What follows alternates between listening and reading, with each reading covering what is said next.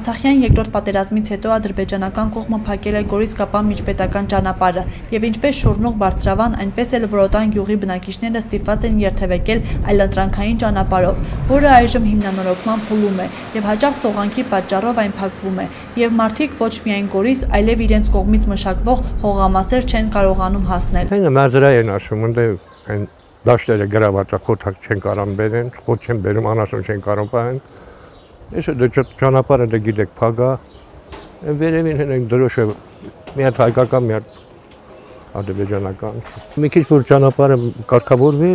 ամեն ինչ երևի նորմալ կլինի, չնայած հեռանում է ճանապարհը բայց այդ կնորմալան այս հիմա։ Պատերազմից հետո վրոտանցիների մեծ մասն այլևս անասնապահությամբ չի զբաղվում։ Վաճառել են անասունները եւ այգիներ են մշակում, սակայն երբ բերքի իրացման սեզոնը սկսվի, չեն կարողանա այն շուկա հասցնել, որովհետեւ մարդատար մեքենաները դժվարությամբ են գյուղ հասնում եւ մարդկանց եկամտի հիմնական աղբյուր հանդիսացող գյուղմթերքն ուղակի կմնա դաշտում։ Դե հակառակորդը հենց 100 մետրի վրա է գտնվում, այս պայն։ Մեկ այգում աշխատում ենք, գնում ենք այգի ջրելու, իրենք էլ նեղից են, էլի մեզ տենում են։ Ներկա պահին ոչ մի խնդիր չկա էլի։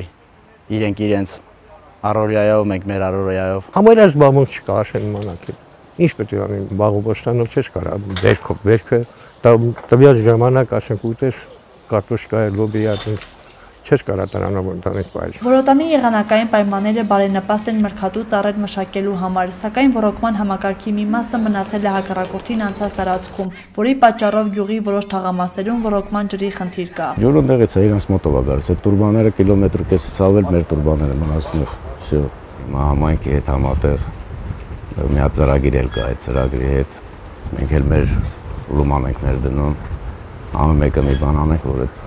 գիծում եք կառուցելու, որ դերեք հասցնեք տեղ։ Գորիս համայնքի Որոտանի վարչական ղեկավար Սուրիկ Օհանջանյանը ասում է, որ պատերազմից հետո գյուղի բնակիչների թիվը չի նվազել։ Ավելին, Արցախից տեղահանված նոր մարդիկ են բնակություն հաստատել գյուղում։ Նրա խոսքով կարևոր է, որ բնակարանային կարիք ունեցող մարդկանց համար շենքեր կառուցվեն։ Գյուղում 286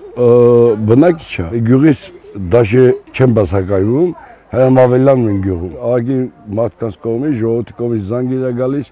որ մեծ ընտանիքները 8 երեխա տեր, 6 երեխա տեր, 5 երեխա տեր, դաժե մարդիկ ուզում են գան որոտան, ապրեն։ Գյուղում բնակարանային խնդրի լուծման ուղղությամբ արդեն իսկ քայլեր են իրականացվում։ Վերջերս Գորիսի համայնքային իշխանության նախաձեռնությամբ Որոտանում բնակարանամուտ տոնեց Արցախից տեղահանված եւ սոցիալապես անապահով 6 ընտանիք։ Գորիսի մամուլի ակումբ ռեգիոն 5+-ի համար։